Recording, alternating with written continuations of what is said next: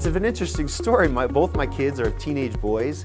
You know, teenage boys typically at 12 and 14 have significant acne. My kids have none. Why? They use Blephadex every day to clean their skin before they go to bed.